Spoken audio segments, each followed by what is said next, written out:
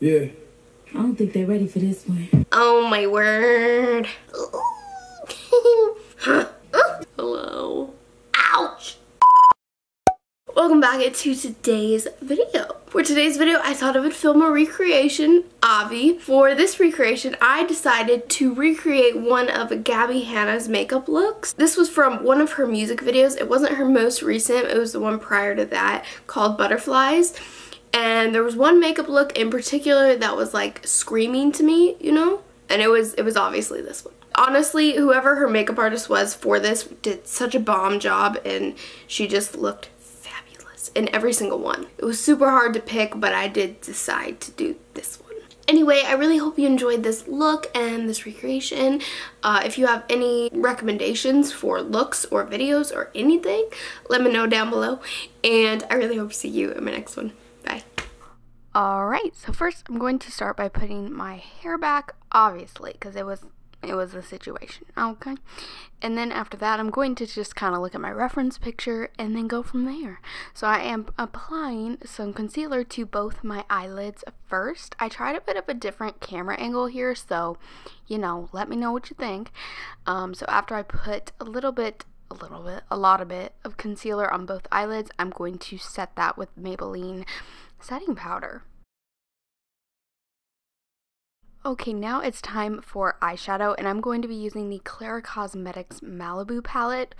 Ooh, amazing. So I'm going to take this eyeshadow and blend this back and forth in the crease of my eye.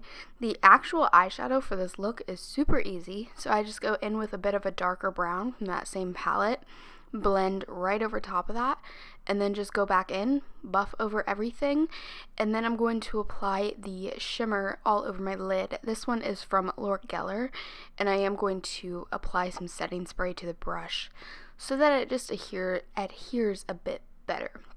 So I'm just going to put a few layers layers oh dear of that on and then apply a liquid glitter over top just a gold glitter will do and it really spices things up, you know?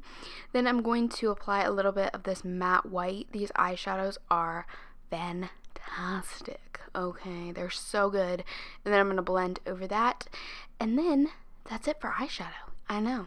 I'm going to apply some eyeliner. I'm going to tight line my upper lash line. Can you see the difference? It's amazing. It just makes your lashes look thicker and just all around, in my opinion, better.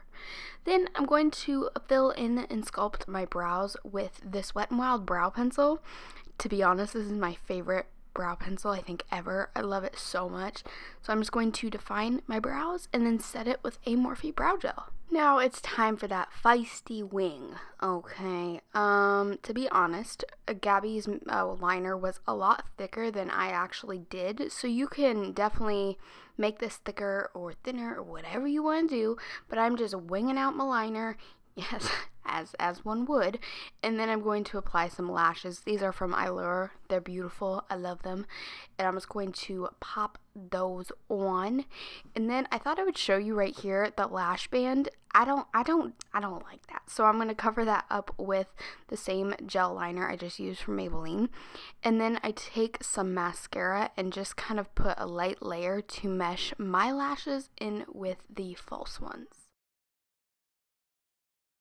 Now it is time for the face. So for primer, I'm going to use MAC Prep and Prime. Really good. I'm going to apply it all over my face and then move on into foundation. I'm going to use the Makeup Revolution Conceal and Define. It's so good. So I'm going to apply, honestly, a lot of foundation. And then just blend it in with a damp beauty sponge. It'll pick up the extra product and look very nice in my opinion. Then I did not show you, but I did apply concealer and powder off camera. So now I'm just bronzing my face with the Kat Von D Shade and Light Contour Kit and then bronzing with the Anastasia Glow Kit. I decided to go in and apply a bit of this. It's technically a highlighter, but it works if you want to go for the bronze, okay? Now I'm just cleaning up my contour with a little bit of that Maybelline powder. It, this is like a must for me.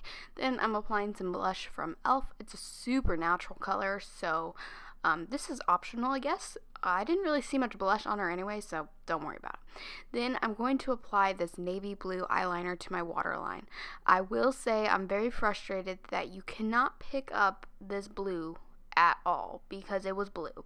Because I'm applying this um, Lime Crime eyeshadow. It's amazing. And I'm just kind of buffing this around on my lower lash and smoking it out. So again, I'm super sorry that it didn't show up blue. And also the gold didn't show up very gold. So sorry about that. But it was there, you know. So now I'm applying some of this gold from the Clara Cosmetics palette and applying this to my inner corner. This this was gold as well. So Thanks, camera. Now I'm applying some mascara to my lower lashes. And then you didn't think I forgot about the highlight, did you? Nah. So I'm going to apply some of this MAC highlighter. It's my favorite of all time. And then I obviously need, well, I was a little shook. Sorry. I just, you know, me and the highlight need a minute. I'm going to highlight my brow bone as well. And then obviously get rid of that translucent powder and tap in that beam you know, because it was it was a little much. Now I am lining my lips.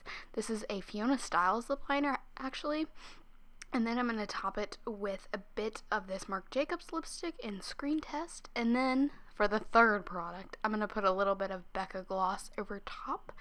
And there you go. That is it. I really hope you enjoyed this video. Thank you so much for watching, and I hope to see you in my next one. Bye.